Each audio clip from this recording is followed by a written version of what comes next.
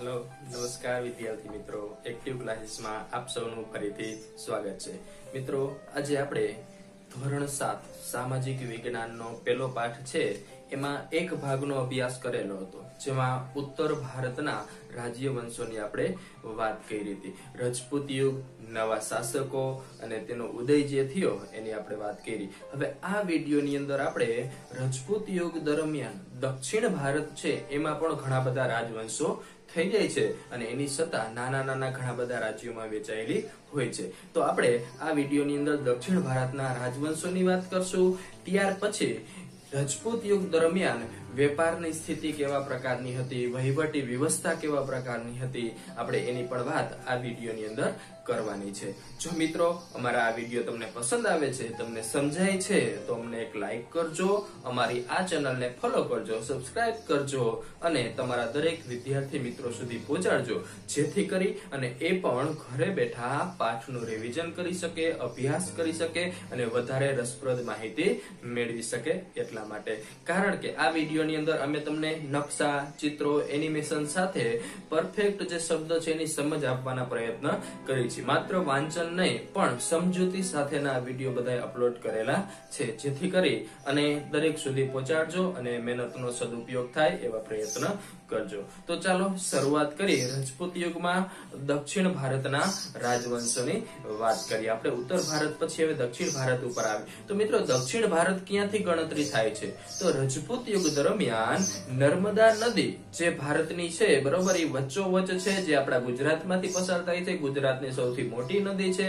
એ નદીનો ઉત્તરનો ભાગ બધો હતો, તેને ઉત્તર ભારતના રાજવંશો કહેવાતા. નર્મદા નદીનો દક્ષિણ ભારતનો જે ભાગ છે, એ બધાને દક્ષિણ ભારતના રાજવંશો તરીકે ઓળખવામાં આવતા.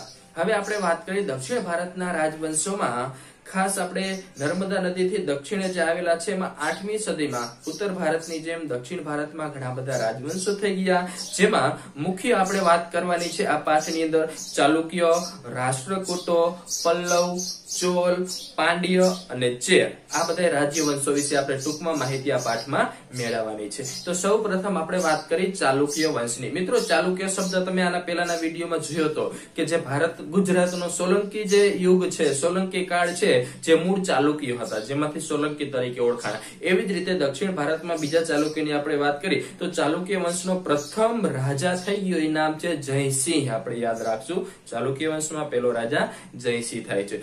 પરંતુ તમને એમ કે તેની વાતાપી રાજધાની. ચાલુક્ય વંશની રાજધાની ક્યાં હતી? વાતાપી તો પુલિકેશ પ્રથમે ઈસવીસન પાંચસો ને વાતાપીને રાજધાની બનાવી અને એક અલગ સ્વતંત્ર રાષ્ટ્ર બનાવ્યું. એટલે કે જયસિંહ સમયે પોતે સ્વતંત્ર નહોતા, બીજા કોઈ રાજ્યની નીચે રાજ્ય આવતું હતું. પરંતુ પુલિકેશ પ્રથમ છે પાંચસો ને ચાલીસમાં વાતાપી નામની રાજધાની બનાવે છે અને પોતાનું રાજ્ય કેવું કરે છે? સ્વતંત્ર કરે છે. આ વંશ વાતાપી એટલે કે અત્યારે એને આપણે બાદામી કહે છે. બાદામી, જે કર્ણાટકમાં આવેલું સ્થળ છે અહીંયા એની રાજધાની હતી. અને આ વંશમાં મહત્વના રાજા થઈ ગયા, જેનું નામ છે કીર્તિવર્મા, પુલિકેશ પ્રથમ અને પુલિકેશ બીજો, જે મહત્વના શાસકો થઈ ગયા. મેં તમને પુલિકેશ બીજાની વાત કરી હતી હર્ષવર્ધન સમયમાં. ઉત્તર ભારતના રાજ્યોમાં આગળ હર્ષવર્ધનની વાત કરી ત્યારે, કારણ કે હર્ષવર્ધનની હાર કેના સામે થાય છે પુલિકેશ બીજા સામે થાય છે. નર્મદા નદીના કાંઠે જે યુદ્ધ થયું હતું તેમાં, એટલે અહીંયાથી ભાગ વેચાઈ જાય છે. ઉત્તર ભારત હર્ષવર્ધન અને નીચે દક્ષિણ ભારતમાં પુલિકેશ બીજો બે મહાન રાજાઓ થઈ ગયા હતા. હવે ત્યાર પછી આપણે વાત કરીએ આગળ. તો વાતાપીના ચાલુક્યની સત્તા નબળી પડી, ત્યારે તેમની એક શાખા, એટલે પોતે ચાલુક્યની જ એક શાખા હતી, બીજી જાય છે કૃષ્ણ અને ગોદાવરી નદીની વચ્ચે, એક શાખાનો શું થાય છે? ઉદ્ભવ થાય છે. અને તેનો સ્થાપક કોણ હતો? વિષ્ણુ વર્ધન હતો. આ જે પૂર્વ શાખા જે છે, એને પૂર્વ ચાલુક્ય શાસકો તરીકે પણ ઓળખવામાં આવે છે અને એની રાજધાની હતી વેંગીમાં. એટલે વેંગીમાં રાજધાની હતી, એટલે ઇતિહાસમાં એને વેંગીના ચાલુક્ય તરીકે પણ ઓળખવામાં આવે છે. વાતાપી અને વેંગીની જેમ એક શાખા હતી કલ્યાણી. કલ્યાણીમાં પણ ચાલુક્યની એક શાખા હતી જે નાનું રાજ્ય હતું. અને આ ચાલુક્યો કલ્યાણીના ચાલુક્ય તરીકે ઓળખવામાં આવે છે. દક્ષિણ ભારતમાં આપણે ત્રણ. એક તો ખાલી ચાલુક્ય વંશની વાત કરી હતી, વાતાપી બાદામી, બીજી એક શાખા કૃષ્ણ અને ગોદાવરી વચ્ચે છે, જેને વેંગીના ચાલુક્ય કહેવામાં આવે છે. અને કલ્યાણી જે નાનું રાજ્યની આસપાસ દક્ષિણમાં હતું, જેને કલ્યાણીના ચાલુક્ય તરીકે ઓળખવામાં આવે છે. હવે દક્ષિણમાં ચાલુક્ય વંશની જયારે પડતી થઈ, એટલે કે એની સત્તા નબળી પડી એટલે રાષ્ટ્રકૂટ વંશનો ઉદય થાય છે. એ સત્તા અસ્તિત્વમાં આવે છે. અને આ જ વંશમાં સૌ પ્રથમ રાજા ઇન્દ્ર પ્રથમને માનવામાં આવે છે. રાષ્ટ્રકૂટનો પહેલો રાજા તમને કહીએ તો આપણે યાદ રાખશું, ઇન્દ્ર પ્રથમ. હવે ગોવિંદ ત્રીજો. રાષ્ટ્રકૂટ વંશમાં સૌથી શક્તિશાળી શાસક થઈ ગયો. શાસકો ઘણા બધા થઈ ગયા ઇતિહાસની અંદર, એક જ વંશની અંદર. પણ ઇતિહાસમાં નામ કેનું આવે છે? જેને કંઈક સત્તા મહાન બનાવી હોય, પોતે શક્તિશાળી હોય, વિસ્તાર કર્યો હોય, આવા રાજાનો ઇતિહાસમાં ઉલ્લેખ જોવા મળતો હોય. તો રાષ્ટ્રકૂટમાં સૌથી શક્તિશાળી કોણ થાય છે? ગોવિંદ ત્રીજો. તો એ વાત થઈ રાષ્ટ્રકૂટની. પછી આ જ સમયમાં યાદવ વંશના બે રાજ્યો અસ્તિત્વમાં આવ્યા હતા. એક છે દેવગીરીમાં અને બીજું છે દ્વાર સમુદ્ર. હવે દ્વાર સમુદ્ર છે, એમાં હોયસય વંશનું શાસન હતું અને દેવગીરીમાં યાદવોનું શાસન હતું. દ્વાર સમુદ્ર હોયસોલોની રાજધાની હતી અને દેવગીરી એટલે કે વર્તમાન દોલતાબાદ યાદવોની રાજધાની હતી. તો આપણે યાદવ વંશના બે શાખાની પણ વાત કરશું. ત્યાર પછી આપણે વાત કરી, દક્ષિણમાં કલ્યાણી ચાલુક્યો સામ્રાજ્યના પતન બાદ, કલ્યાણી મેં તમને લાસ્ટ વાત કરી હતી ચાલુક્ય, એનું પતન થાય છે, ત્યાં નવા રાજ્યનો પાછો શું થાય છે? ઉદય થાય છે. ભારતમાં અવારનવાર બનતું જાય છે. કોઈ એક મહાન રાજાની સત્તા નબળી પડે છે. એટલે તરત જ બીજા નાના નાના રાજ્યો છે, એની સત્તા કેવી થતી હોય? મજબૂત બનતી હોય છે. તેમાં વાત કરી તો વરંગલના કાકતીય પણ હતા અને કૃષ્ણ અને ગોદાવરી નદી વચ્ચેનો ભૂમિ પ્રદેશ ઉપર તેમનું રાજ્ય હતું. વરંગલના કાકતીયનું રાજ્ય ક્યાં હતું? તો કૃષ્ણ અને કાવેરી નદી વચ્ચેનો જે પ્રદેશ છે, ત્યાં એ રાજ્ય કરતા હતા. વરંગલ એમની શું હતી? રાજધાની હતી. આવો જ એક મહત્વનો વંશ, પલ્લવ વંશ પણ હતો. આ વંશની સ્થાપના બપદેવે કરી હતી. ઘણી જગ્યાએ બપ્પા દેવ તરીકે પણ ઓળખવામાં આવે છે. એટલે પલ્લવ વંશનો સ્થાપક રાજા કોણ હતો? બપદેવ તેમની રાજધાની હતી કાંચીપુરમમાં હતી. અને એમાં મહેન્દ્ર વર્મા પ્રથમ નરસિંહ વર્મા પ્રથમ અને નરસિંહ વર્મા બીજો. આવા વંશના મહત્વના શાસકો હતા. હવે આપણે એવું શબ્દ તમને ઘણીવાર પ્રશ્ન થતો કે આમાં પ્રથમ ને બીજો શબ્દ કેમ પાછળ વાપરે છે? મિત્રો એક ને એક વંશની અંદર ઘણા બધા એક ને એક નામથી રાજા બનતા હોય છે. તો એ સમયે મોટા ભાગે ટૂંકમાં એવી પ્રથા વધારે હતી. પોતાના વંશના જે રાજાઓ એના ઉપરથી નામ પાડતા. એટલા માટે માનો કે એક ને એક રાજાના નામ વાળા બે રાજા બની જાય. તો પેલો જે રાજા બન્યો એને પ્રથમ કહેતા, બીજો બન્યો એને બીજો કહેતા. જેમ કે ગુપ્ત યુગમાં પણ આવું બને છે કે ચંદ્રગુપ્ત પહેલો, ચંદ્રગુપ્ત બીજો આવું નામ તમને જોવા મળતું. એટલે આવું ઘણી બધી જગ્યાએ તમને ઇતિહાસમાં જોવા મળશે. ત્યાર પછી આપણે આગળ વાત કરીએ, તો તાંજોર, ત્રિચિનાપલ્લી, પદુકોટોય જ્યાં આવેલા છે, ત્યાં મધ્યકાળમાં ચોલ મંડળનું એક રાજ્ય હતું. અને તાંજોર એમની શું હતી? રાજધાની હતી. એટલે ચોલ રાજધાની હતી તાંજોર. હવે રાજરાજ પ્રથમ રાજધીરાય પ્રથમ અને રાજેન્દ્ર પ્રથમ ચોલ વંશના મહત્વના શાસકો થઈ ગયા હતા. જેને ટૂંકમાં સારા એવા બાંધકામ ને સારો એવો સત્તાનો વિસ્તાર પણ કરેલો હતો આ રાજાઓએ. દક્ષિણનું આવું એક પ્રાચીન રાજ્ય પાંડ્ય પણ હતું. પાંડ્ય રાજ્ય છે એ નાનું હતું, પણ વેપારનું એક મહત્વનું મથક હતું. અને પાંડ્યોની સત્તા, આમ જોવા જાવ તો એવું કહેવાય છે કે પાંડ્યોની સત્તા છે એ એક મહત્વની અને દક્ષિણ ટૂંકમાં સમુદ્રની સત્તા એની પાસે હતી સમુદ્રી તાકાત એની પાસે જોવા મળે છે. આ સમયે તમિલથી અલગ થયેલ એક ભાગ પર ચેર વંશનું શાસક હતું. ચેરનું બીજું નામ છે કેરળ.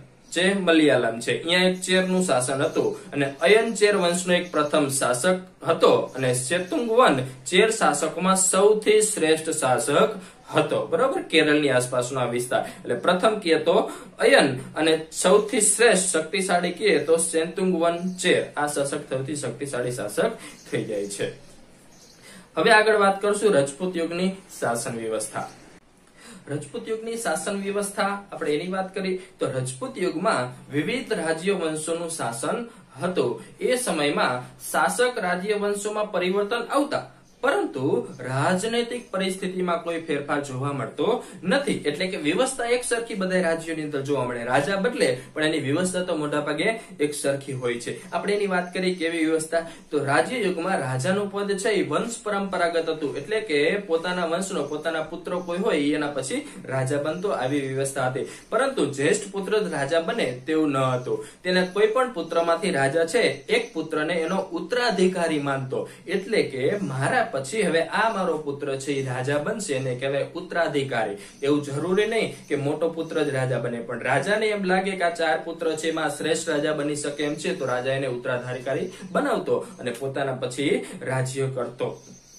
હવે આ એને પુત્ર ઉત્તરાધિકારી હોય ને યુવરાજ બનાવવામાં આવતો અને યુવરાજ છે એ પાછળથી શું બને? રાજા બનતો. તમે ઘણી બધી સિરિયલમાં યુવરાજ શબ્દ સાંભળેલો હશે કે આ યુવરાજ છે, બરાબર? તો એના પછી રાજાનું પદ એને મળતું. લોકો અથવા રાજ દરબારીઓએ ચૂંટણી કરી ને પસંદગી કરી હોય એવા પણ અમુક ઉદાહરણ આપને જોવા મળે છે. જેમ કે એક ઉદાહરણ તરીકે કાશ્મીરના યસ્કરની બ્રાહ્મણોની સભાએ પસંદગી કરી હતી. એટલે ઘણા બધા રાજ્યોમાં આવા પણ અમુક ઉદાહરણ છે કે લોકોએ પસંદગી કરી હોય, મંત્રીઓએ પસંદગી કરી હોય. એક ઉદાહરણ તમને આપ્યું છે કાશ્મીરનો એક રાજા છે, જે યસ્કર, બરોબર? એની જે પસંદગી છે એ બ્રાહ્મણોની મંડળીએ કરી હતી.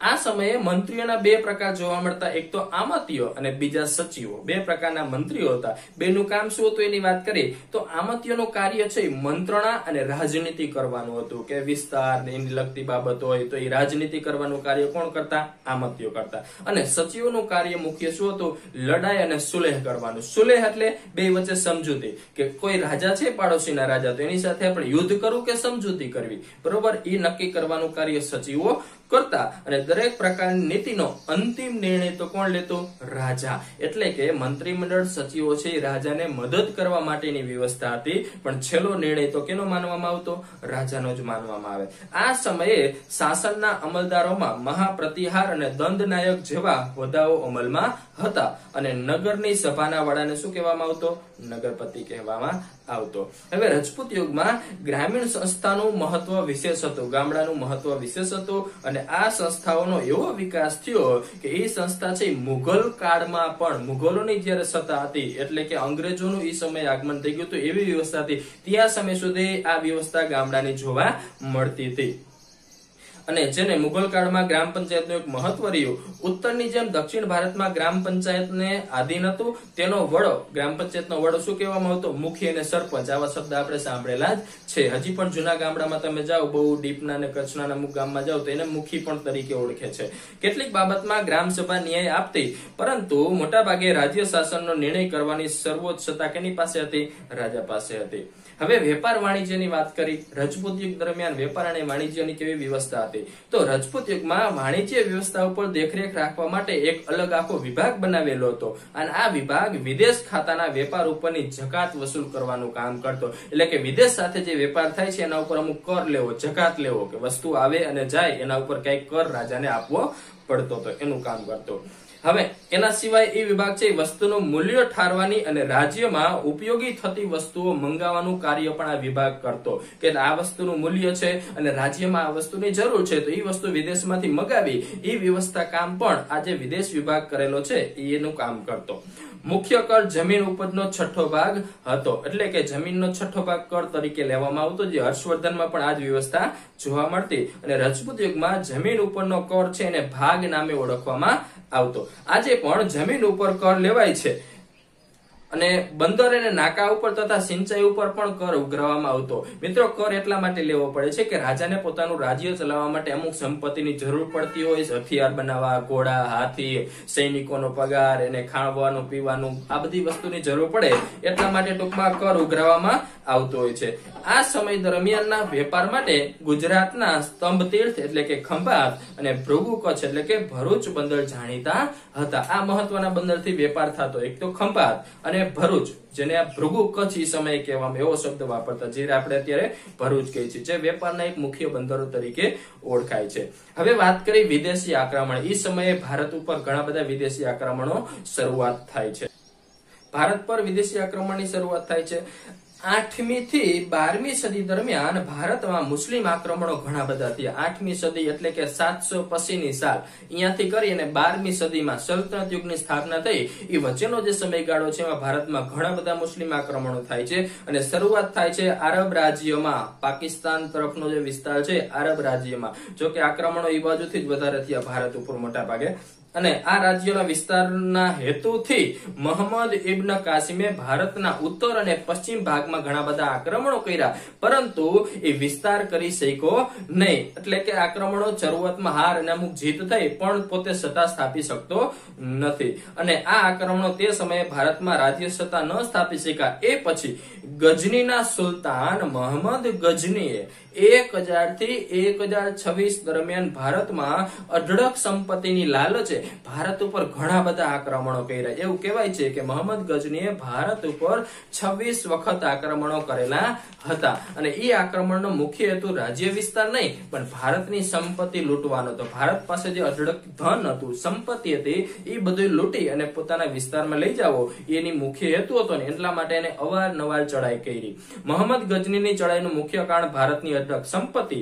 તે એક ચડાઈ પછી બીજી ચડાઈ કરતો અને દરેક વખતે એક વધુ તાકાતવર થઈને આવતો, વધુ સૈન્ય લઈને આવતો, વધુ હથિયાર લઈને આવતો અને ભારતની સંપત્તિ લૂંટી જતો, એમાં એક દિવસ ઈ સોમનાથ ઉપર ચડી આવે છે. મોહમ્મદ ગજની છે એ એક ની આસપાસ સોમનાથ મંદિર ઉપર આક્રમણ કરે છે અને એની અઢળક સંપત્તિ લૂંટી અને પોતાના રાજ્યમાં લઈ જાય છે. એટલે ગજનીએ ભારત ઉપર ઘણા બધા આક્રમણો કર્યા અને ઘણી બધી સંપત્તિ ભારતની લૂંટી હતી. મોહમ્મદ ગજનીની ચડાઈ બાદ દોઢસો વર્ષ સુધી પાછું આક્રમણની શરૂ દોઢસો વર્ષ સુધી આક્રમણ નથી થતા. પાછું પુનઃ ભારત ઉપર તે જ દિશામાંથી આક્રમણની શરૂઆત થાય છે. અગાઉના આક્રમણોની વાત ભારતીય શાસકો પાછા ભૂલી ગયા અને મોહમ્મદ ગજનીના અવસાન બાદ સત્તા માટે ગજનીમાં અવારનવાર લડાઈ ચાલુ થઈ. પણ ભારતના રાજાઓ આનો લાભ લઈ શક્યા નહીં અને એમાં શહાબુદ્દીન ઘોરીએ એક ભારત ઉપર આક્રમણ કર્યું અને ધીમે ધીમે શરૂઆતમાં તે કેટલીક એને હાર મળી. પરંતુ અંતે તરાઈનું યુદ્ધ બીજું. મેં તમને ઉત્તર ભારતના રાજવંશમાં વાત કરી હતી પૃથ્વીરાજ ચૌહાણ અને મોહમ્મદ ઘોરી એ બે વચ્ચે બે યુદ્ધ થાય છે. બરોબર? તરાઈનું યુદ્ધ પેલું અગિયારસો એકાણું, જેમાં પૃથ્વીરાજ ચૌહાણ જીતી જાય છે. અને પાછો મોહમ્મદ ઘોરી પાછો તાકાતવર થઈને આવે, હથિયાર લઈને આવે છે અને વધારે તાકાત સાથે આક્રમણ કરે છે. ત્યારે પૃથ્વીરાજ ચૌહાણની બીજા યુદ્ધમાં હાર થાય છે અને અહીંયાથી મોહમ્મદ ઘોરીએ દિલ્હી ઉપર પોતાની સત્તા સ્થાપી અને પૃથ્વીરાજ ચૌહાણની હાર થઈ ગઈ અને સલ્તનત યુગનો પાયો નાખી દે છે મોહમ્મદ ઘોરી અને દિલ્હી ઉપર પ્રથમ વખત મુસ્લિમનું શાસન આવી જાય છે. અહીંયાથી સલ્તનત યુગની શરૂઆત થાય છે. તો આ મિત્રો વાત થઈ દક્ષિણ ભારતના રાજવંશોની મહત્વના ટોપિકની. મેં તમને ચર્ચા કરી. શબ્દો સમજવાનો પણ પ્રયત્ન આપણે કરેલો છે. અને જો ન સમજાણ હોય તો અમને કોમેન્ટ બોક્સમાં તમારા પ્રતિભાવો જરૂરથી આપજો. તમારા મિત્રો સુધી આ વીડિયો પહોંચાડજો અને અહીંયા સ્વાધ્યાયના પ્રશ્નો પણ અમુક તમને આપેલા છે જે નોટ કરજો, જવાબ લખવાના પ્રયત્ન કરજો, પ્રવૃત્તિ આપી હોય પ્રવૃત્તિ કરજો, જેથી કરી અને તમને સમજવામાં વધારે સરળ રહે અને તમારો સ્વાધ્યાય પણ કમ્પ્લીટ થાય અને તમારા શિક્ષક મિત્રોને તમે સ્વાધ્યાય દેખાડી શકો છો. બરોબર? તો આ એક મહત્વના રાજવંશની આપણે વાત કરી, ખૂબ રસપ્રદ રીતે સમજાવવાનો પ્રયત્ન કર્યો છે. અને જો તમને હમણાં વીડિયો પસંદ આવે છે, તો આગળના વીડિયો પણ જોતા રહેજો, સબસ્ક્રાઇબ કરજો લાઈક કરજો. પાછા ફરીથી બીજા વિડીયોમાં મળીશું. ત્યાં સુધી રજા આપશો. જય હિન્દ, વંદે માતરમ.